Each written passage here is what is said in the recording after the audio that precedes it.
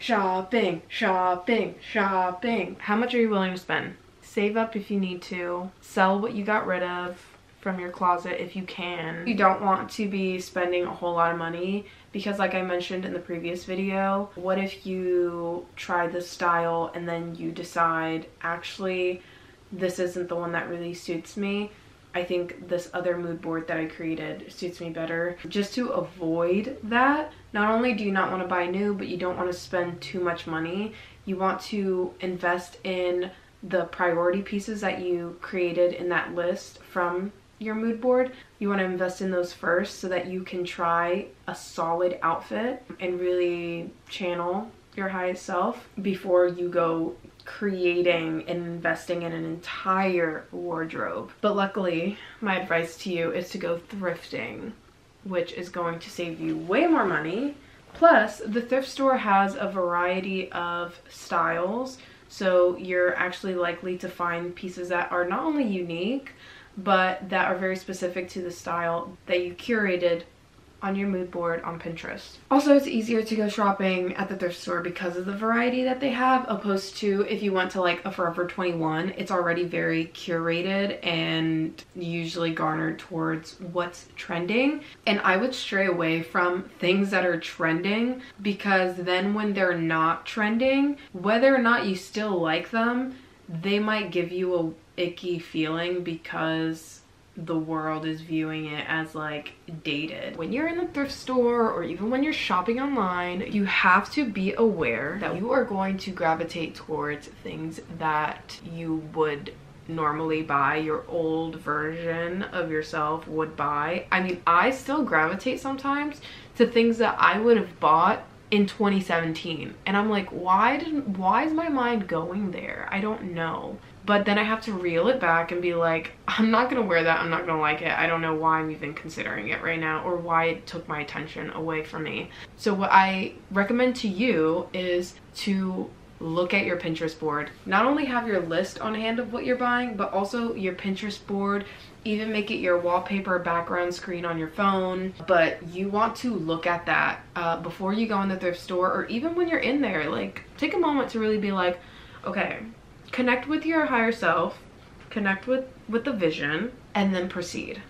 And when you get distracted, just do it again.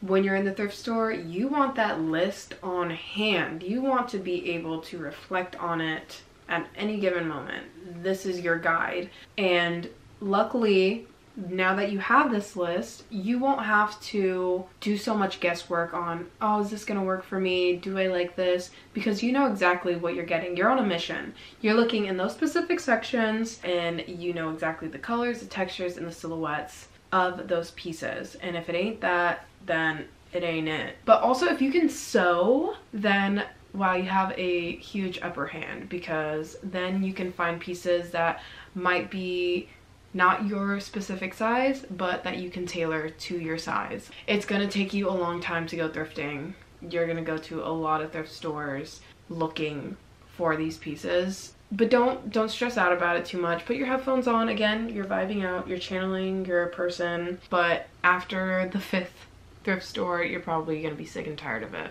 I have gone through the process actually recently where I went to like every single thrift store in a 15 mile radius and I really didn't find anything and it was very disappointing. And so I ended up resorting to shopping online. And I think it is worth spending a little bit more, but saving yourself time, energy, gas in the long run. And then you also know like this piece is really gonna work for you. The only thing is you need to know your measurements. You need to know your measurements and you need to ask the measurements of the clothing if they don't have it listed because nothing's worse than waiting for something to come in the mail that you spent money on and then it doesn't fit and you can't return it because usually you can't return it. When you buy online though, I do recommend that it's still secondhand. So Depop, Poshmark, Vestiaire. Another website that I do like to shop on that I can get sale items and it's definitely in the pricier range in its sense. Usually when they have like a private sale, I can buy a sale uh, piece that's clearance on sale and then still return it, which is nice. Try and find your stores that allow you to do that. When you're shopping online, my tip to you is to just know your keywords, which should be easy because you've already done the work to figure out the colors, the textures, and the silhouette. So you can look up black, mock neck, wool, top you're really narrowing it down and it, it, your options won't be endless. You'll have very specific options. Also when you're shopping not to just buy everything that you find create a cart and then when you go to it again sit there close your eyes think about like do i see myself in it? Does the energy of this piece align with the energy of my higher self? Is she wearing it? Where's she going in it? The same thing that you did when you were creating the pinterest board do that again with these specific pieces that you have in your cart. This is essential. You have to do this. Because if you don't then you might just go on a whim and be like oh this is cute this is cute buy it. And then you then you try it on and you're like actually why did i think this doesn't even work the last thing that you want to do is buy some pieces that don't align with the vision. It's going to fog up the the decluttering that you already went through the process of doing. And I know the feeling of wanting to hold on to something just because you've exchanged money for it because money is energy. So you exchange your energy for something. So then you feel tied to keeping it and you don't want to feel like it's gone to waste. If you do buy some things that either don't fit you or don't align with you, see if you can give it to a friend or reselling is actually actually a lot more simple. Just make sure that when you